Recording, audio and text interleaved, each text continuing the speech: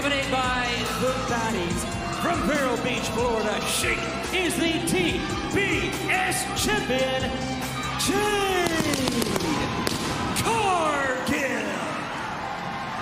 Wow, what a look. Jade Cargill with the green paint because she is made of money. Tough to argue that.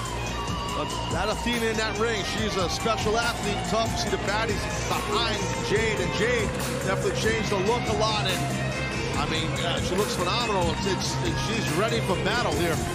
But Tony, conspicuous by his absence, Stokely Hathaway, the publicist for the hashtag Jade brand. The publicist who went up and grabbed the chip, gave it to the Joker. The Joker gets a future world title shot. Maybe that's